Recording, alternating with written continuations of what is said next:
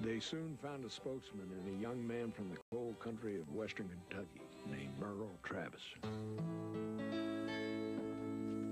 Come and listen, you fellas, so young and so fine, and seek not your fortune in the dark, dreary mine, where the demons of death often come by surprise. One fall of slate and you're buried alive where it's dark as a dungeon. Merle was a tremendous songwriter. Uh, 16 tons.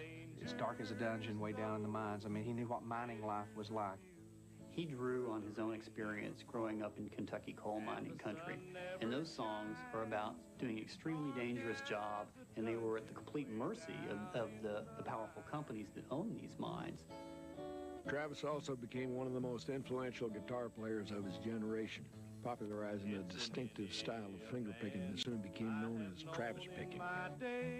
Merle Travis was probably the first guy to really take a guitar style uh, this where you could actually accompany yourself. You didn't have to have other musicians, you know, around you. I mean, that's music right there. That's, you know, you don't need a drummer.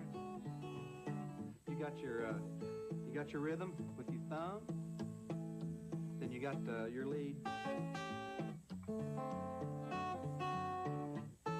And uh, Merle was, he took that to the public. He took that not only on record, but he took it uh, to people on television.